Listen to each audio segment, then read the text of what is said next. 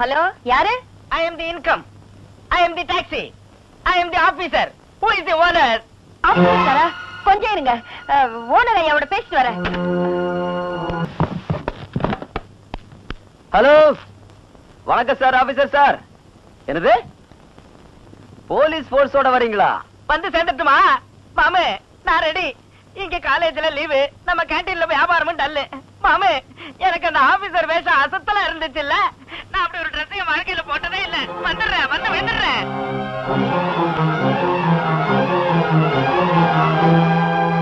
மாமு income tax officer வந்துட்டாருங்கோ ஐயோ ஐயோ ஐயோ ஐயோ இங்க வருங்க. இங்க வருங்க, வருங்க, இருக்கு போல, வருங்க. ஐயோ மாமே பட்டணத்துல இருந்து பட்டிக்காடு வரைக்கும் ஒரு ஓட்ட பஸ்ல உட்கார வச்சு குத்து குத்துன்னு குத்திக்கிட்டே வந்தாருங்க மாமே. என் உடம்புல ஒரு பாட்டு கூட ஒழுங்கா வேலை செய்ய மாட்டேங்குது. ஐயோ அம்மா பாத்தெல்லாம் இருக்கா இல்ல என்ன சந்தேகமா இருக்கு? கொஞ்சம் பாரு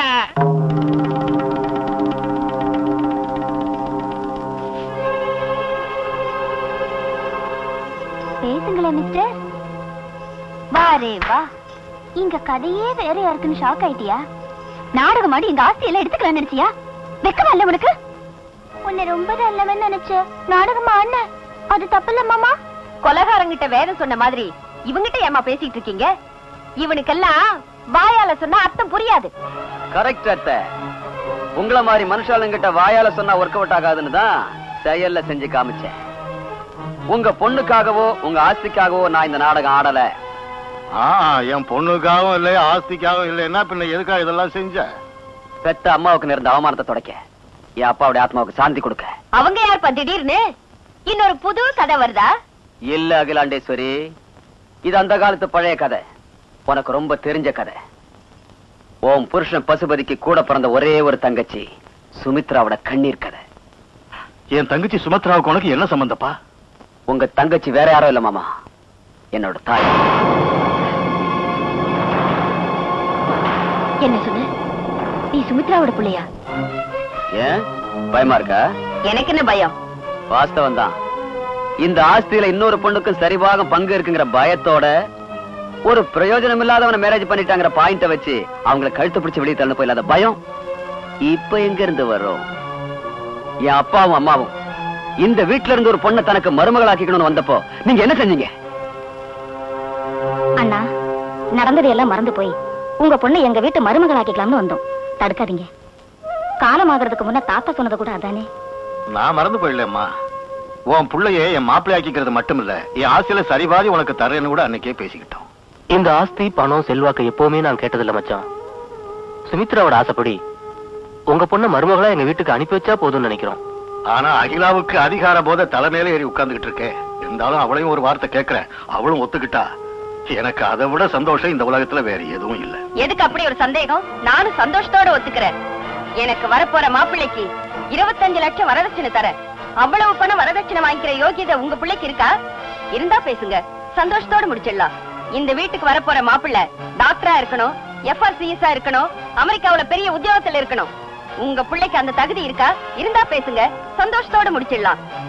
இந்த சேலத்து அகிலாண்டேஸ்வரிக்கு வரப்போற சம்பந்தி கோடீஸ்வரனா இருக்கணும்.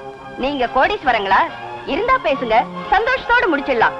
அதை விட்டுட்டு சோத்துக்கே வழி இல்லாதவங்களை இந்த வீட்டுல உட்கார்றதுக்கு கூட நான் விட மாட்டேன் மரியாதையா போங்க வெளியே. அண்ணி மரியாதையை மறந்து பேசாதீங்க.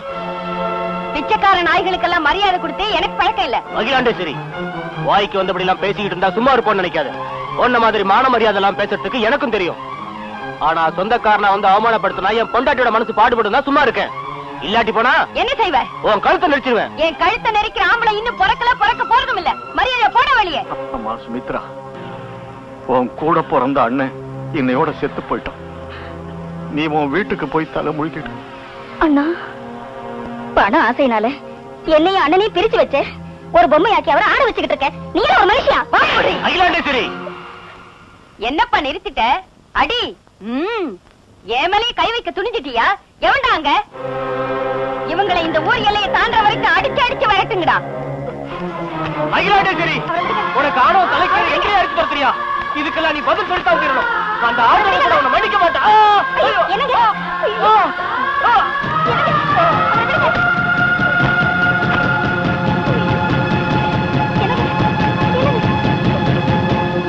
சொந்தமாச்சேன்னு நினைச்சு போனோம். மிருகங்க மாதிரி நடந்துகிட்டாங்க.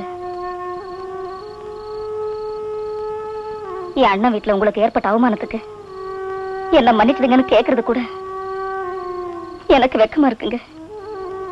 என்ன செய்து உங்களுக்கு? என்னங்க? என்னங்க?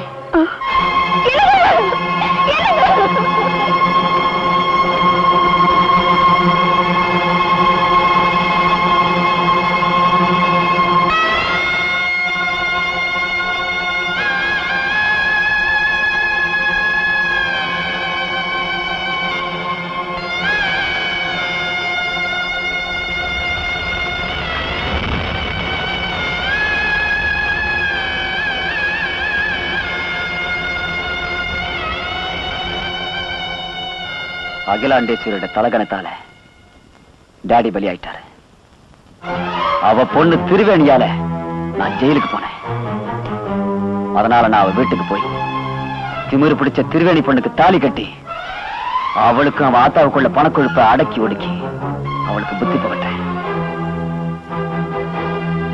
டேடியோட கடைசி ஆசையை நான் நிறைவேற்றி வைக்கிறேம்மா அப்படியே அம்மாவுக்கு அன்னைக்கு வாக்கு கொடுத்தேன். அப்புறம் சின்ன பாப்பாவுக்கு வலை விரிச்சு பெரிய பாப்பாவுக்கு தாலி கட்டி அத்தையோட ஆஸ்திய முழுசா அபகரிச்சு இப்ப நடு வீட்டுல உட்கார்ந்துட்டேன் ஒரு சேர போட்டு மாப்பிள்ளையா. இன்னைக்கு நான் மூணாவது கண்ணை திறந்த நீங்க எல்லாரும் பிஷா!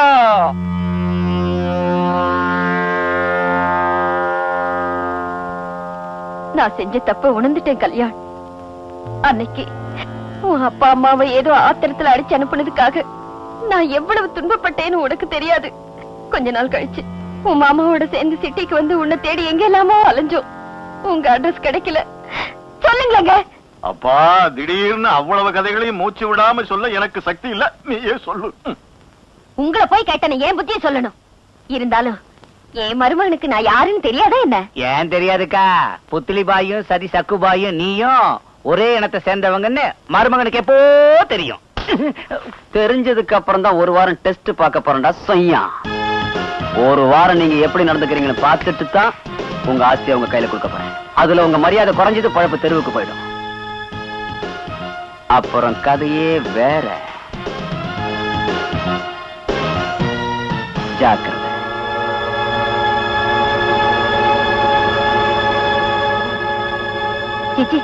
அவன் கையில எல்லாரும் மூளை கட்டி சிக்கிக்கிட்டோம் பாரு.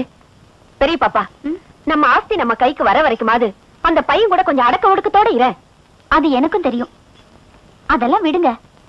முதல்ல ஆஸ்தி எந்த ரோட்ல எப்படி வாங்குறதுன்னு யோசிங்க. ஒண்ணு செய்யடா தம்பி. அவனுக்கு நான் எழுதி கொடுத்த காயத்தை நீ கொண்டு வந்துட்டேன்னு வச்சுக்கோ. அதோட அவன் தொலைஞ்சான். நீ எதுக்காக கத்துறக்கா?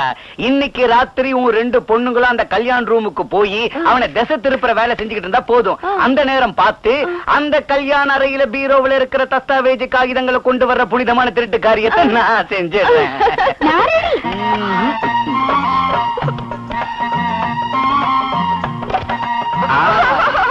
இந்த ஆட்டு கூட நீங்க தான் ஜெயிச்சீங்க என்ன என்கிட்ட பெற்றுக்கிட்டு ஜெயிக்க முடியுமா? சின்ன பாப்பா உன் கதை என்ன? நீ உள்ள நான் வெளியே மாமா. வெளிய உள்ள. வெளிய உள்ள. வெளிய உள்ள. உன்னை ஜெயிக்கிறதே கஷ்டம் மாமா. அக்கா கூட கேரம் போர்டு என் கூட பிளேயிங் கார்ட்ஸ் ரெண்டு பக்கம் ஆடுற ரெண்டு கையால ஆடுற ரெண்டு ஆட்ட ஆடுற ரெண்டு பக்கமும் ஜெயிக்கிற அட்டா எல்லாத்துலயும் சூப்பர் மேன் தாண்டி. சான்ஸ் கிடைச்சா இந்த சொம்பைய ஃபுட்பால் ஆடிடுவேன். அம்மா செத்த என் மண்டை போச்சு. எவன்டா அவன் செத்தன்னு குரல் கொடுத்தது. நீங்க ஸ்ட்ரைக்கர் அடிச்சீங்கல்ல அது என் கால்ல விழுந்து அடிபட்டு நான் தான் சத்தம் கொடுத்தேன். ஆனா சவுண்ட் என்னவோ வெளியில இருந்து வந்த மாதிரி இருந்துச்சு. அதெல்லாம் ஒண்ணும் இல்ல. நீ வாய மூடி. உனக்கு தெரியாதுக்கா. வெளியில இருந்து தான் வந்தது மாமா. நீ போய் பாத்துட்டு வாம்மா. சரி மாமா. ஐயோ சந்தியா ஹலோ? இங்க யாராவது அம்மா செத்தேன்னு சொன்னீங்களா? இங்க எவனும் இல்லைங்க. உங்க வேலையை நீங்க பாருங்க.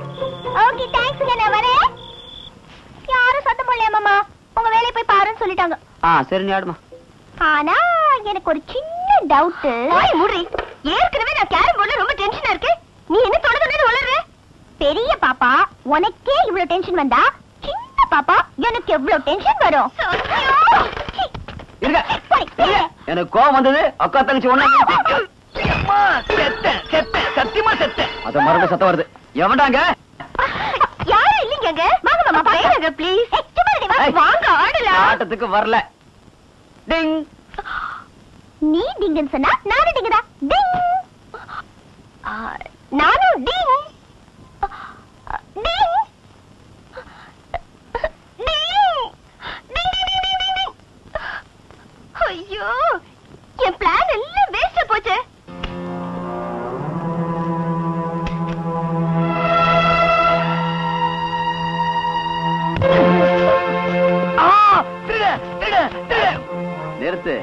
இந்த மாதிரி நேரத்துல நான் தான் கத்தணும். சிரமம் கொடுக்காம நீயே கத்திட்ட. ஏதோ மனுஷாலுக்கு மனுஷாலு ஒரு ஒத்தாசைதான் தம்பி இருங்க. இந்த நேரம் பார்த்து கல்யாணோட ரூமுக்குள்ள எதுக்குடா வந்த? அது வந்து உண்மையை சொல்லு. நீ உண்மையை சொல்லலன்னா உன்னை கைமா செஞ்சு காக்கா ஹோட்டலுக்கு அனுப்பிச்சிருவேன். வேண்டாம் தம்பி. அது இந்த அக்கா தான் சொன்னாங்க. இந்த கையெழுத்து போட்ட பேப்பர் டாக்குமெண்ட்ஸ்ல இந்த பேப்பர் அந்த பேப்பர் உனக்கு எதுக்குடா? இல்ல தம்பி இவனுக்கு எதுக்கு? ஏய்? இங்க ஒரு திருட்டுத்தனம் நடக்க போது எனக்கு முன்னாடி தெரிஞ்சுதா. பத்திரமா அத ஒளிச்சு வச்சேன். எங்க? ஏய், இங்க வாங்க வாங்க வாங்க. திரும்ப. கை தூக்கு. ஆ. என் பாக்கெட்ல தான் வச்சிருக்கேன் எதுக்கு முன்னாடி சொல்லல? ஏன் சொல்லல? மறுபடியும் பைத்தியம் மாதிரி நடிச்ச பல்ல தட்டி கையில கொடுத்துருவேன்.